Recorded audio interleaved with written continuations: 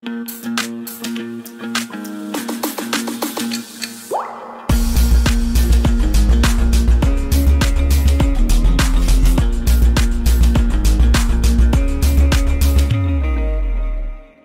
this video, we'll show you four dynamic drills to do after you run to build strength and agility as well as improve coordination and balance for a more efficient running gait.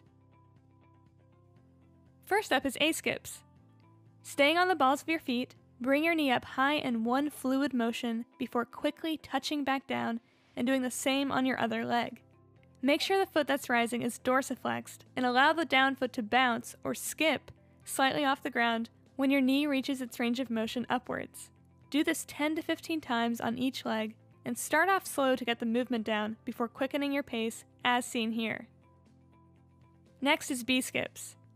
These are similar to A skips except in these, you're adding a second step.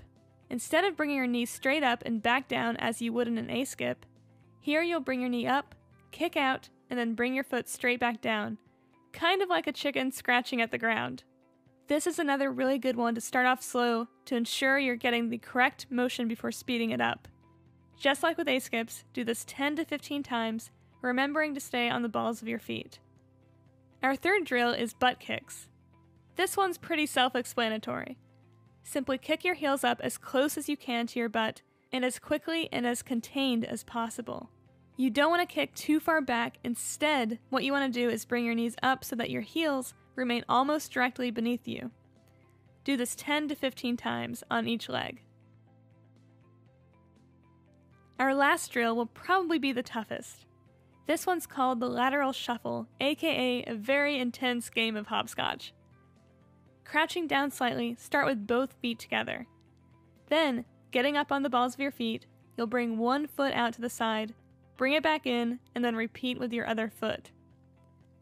It's actually pretty simple when you slow it down, but this one can definitely take some practice before you conquer the movement.